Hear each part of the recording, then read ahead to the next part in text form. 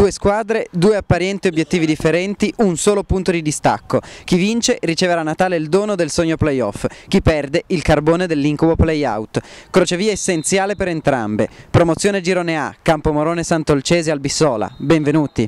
Per vedere la prima azione nel primo tempo dobbiamo aspettare il 34esimo. Punizione per l'Albissola. Parte Gran Villano, ottimo tiro potente di poco a lato.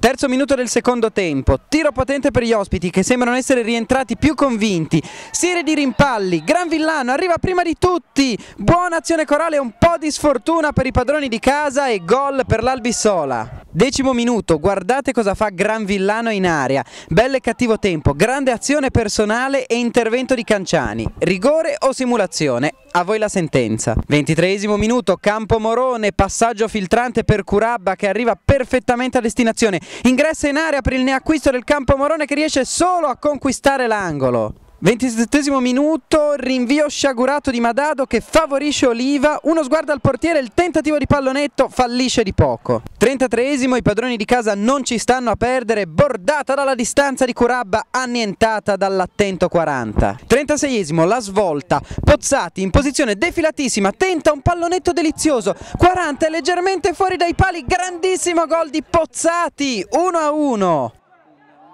43esimo piove sul bagnato, l'Albissola rimane in 10, espulso Suetta per somma di ammonizioni. 46esimo episodio contestatissimo, gol annullato in fuorigioco. Le immagini parlano da sole, a noi sembra una segnalazione assolutamente scorretta e il gol appare regolare. Si diceva crocevia tra le due squadre che non sono riuscite ad andare oltre il pari. Sostanzialmente serve solo a rimandare ogni giudizio a gennaio questa partita. Da Carlo Casarico e Daniele Orlandi un augurio di ottime feste.